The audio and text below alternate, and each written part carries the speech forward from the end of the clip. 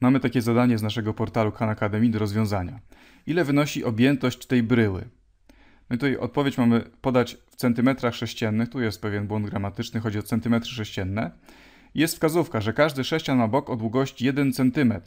Możesz kliknąć na kształcie i przeciągnąć, żeby go obrócić. A, czyli możemy sobie tutaj dowolnie ten kształt obracać, żeby zobaczyć go ze wszystkich stron i dobrze sobie wyobrazić, jak on wygląda, jaką objętość zajmuje. No wiemy, że każdy sześcian, widzimy, że, że ten, ta bryła jest złożona z kilku sześcianów, a wiemy, że każdy sześcian ma bok o długości 1 cm. No to oznacza, że każdy taki sześcianik ma objętość 1 cm sześciennego. Skoro każdy bok sześcianiku to jest 1 cm, to znaczy, że sześcianik ma objętość 1 cm sześciennego. No to teraz musimy policzyć, z ilu sześcianików się składa ta, ta figura, ta bryła. No to widzimy, że tutaj mamy w tym takim wysokim słupku 1, 2. Potem mamy tutaj jeden z tyłu, to już 3, tutaj czwarty, tu piąty i jeszcze jest szósty, dokładnie w samym środku. O, teraz widać wszystkie 6. 1, 2, 3, 4, 5, 6.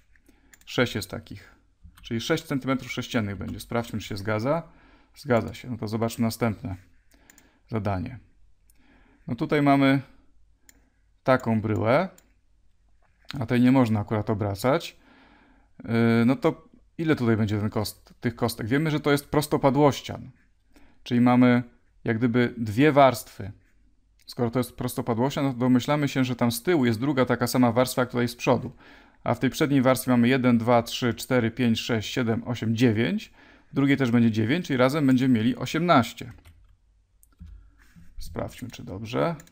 Zgadza się. No i teraz mamy następną bryłę. Zróbmy kilka takich przykładów. No i tutaj znowu mamy centymetry. W centymetrach sześciennych mamy podać odpowiedź. No i wiemy, że tak jak w pierwszym przykładzie, każdy sześcian ma krawędź o długości 1 cm. No to ustawmy tak, żeby widać było wszystkie. O, teraz widać wszystkie. No i widzimy, że ich jest 1, 2, 3, 4, 5, 6. 6 takich sześcianów, każdy ma objętość 1 cm sześciennego, czyli odpowiedź będzie 6. No, to jest fajna zabawa. Zróbmy jeszcze ostatnie zadanie. No tu akurat jest bardzo prosty przykład. Widzimy, że mamy 5 takich sześcianików, czyli tutaj mus, muszę wpisać 5. Sprawdźmy. Zgadza się. Możemy odliczyć punkty.